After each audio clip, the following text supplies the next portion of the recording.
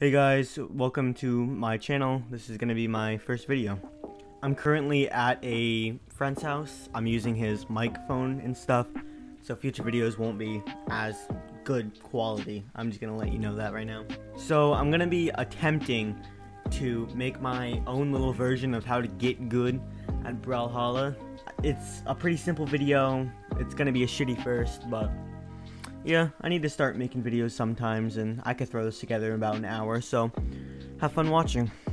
Alright, well, before this video starts, go in the description below and subscribe to my friend Tristan. He streams and he does videos of a game called Strucid. It's a Roblox game, sort of like Fortnite. Some of you might like it, some of you might not, but go subscribe to him just because he's letting me use all of his shit. so, the first quick tip that I'm going to give is about choosing your main and you've always wanted to choose a character that feels good or that plays good, but never try playing a character just because you know they're broken. Try choosing easy weapons, like if you're new, try choosing easy weapons like Axe, lance, or Spear. Those are pretty basic weapons to get into. So, most of the good legends, in my opinion, have one string damage builder, however you want to call it, and then one heavy hitter. I myself, I play Barraza. Barraza's got blasters. Blasters can do extremely well for doing mad damage really quickly. And also, I love blasters. It's guns. You you can't really go wrong on guns. And then axe, you just you could just Sair or I don't recommend sig spamming, but if it comes to that, Barraza's got some nice ass sigs. Try thinking about choosing different characters sometimes. At first, you might think like, oh, everyone else is playing Mordex, I might want to play Mordex. But then you, you like, you play random or something, and you get, for example, Yumiko, and you might really like Yumiko, and you might be absolute dog shit with Yumiko, but you enjoy her. In my opinion, that's better than playing a character that wins, because you need to play a character that you enjoy. My second quick tip is trying to understand or and know your opponent. In the beginning of every game, you should attempt to analyze what they do. And by analyze, I mean like, see how they dodge, if they dodge a certain direction, stuff like that. Most people start the game off with dash jumping into Nair. They'll just dash jump near you. And if you learn how to get around that once, a lot of other people will probably do it, and you could probably get around all of them. A lot of people would dash jump Nair. And I don't know, maybe you could dash jump recovery and get below them and hit them. I don't know, because I don't know how yet. I'm still gold. Try to pinpoint if they dodge in a certain direction. If you watch my video, you're probably stuck in early gold or silver. And most people in those rankings will dodge inwards. I would try my best to go into training mode and set the bot to dodge inwards and try comboing off of that. Speaking of dodging in, make sure you yourself don't dodge in. A lot of other people are learning how to punish dodge in. So if you dodge in, big possibility they're gonna punish you. Try dodging in different directions. If you dodge the same way every time, they will always punish you. Let's say you dodge up every time. They will eventually start punishing your dodge up. But then you start dodging in. They will notice that you're not dodging up anymore and they'll try to punish an in dodge but then you dodge a different direction after that to even screw with them even more.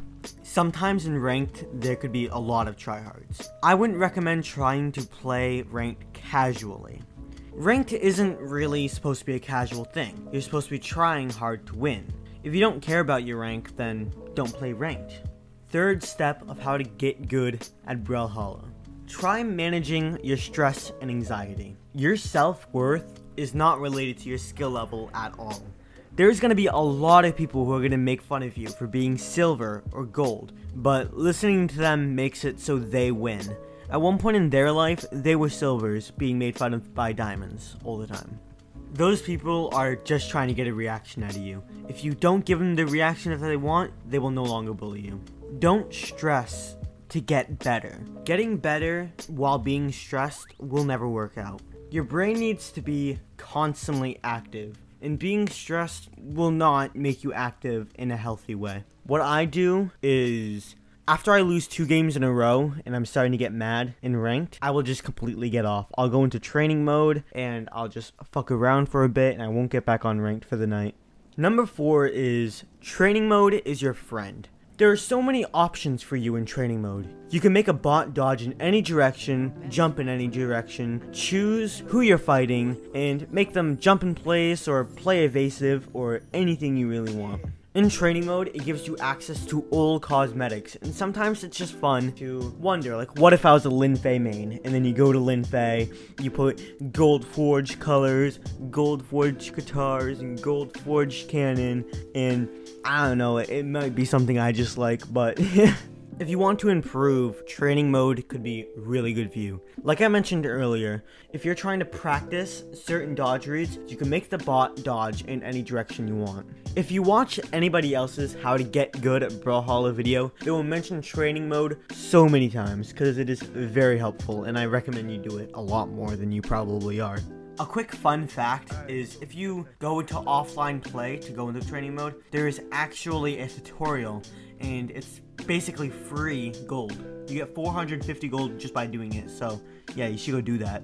I'm only a gold, so maybe I'm not the best person to get advice from. I am learning myself. Tip number five is follow me on Twitch, please, because I'm learning shit. You can watch me learn shit and maybe also learn shit, and I also need followers. Everything's in the link. My friend's YouTube's in the link, Discord's in the link, and my Twitch is in the link. Yeah, you should go do that.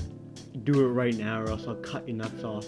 Well, thank you for making it this far in the video. Please like and subscribe and comment down below if I helped you at all. Thank you for watching. Bye.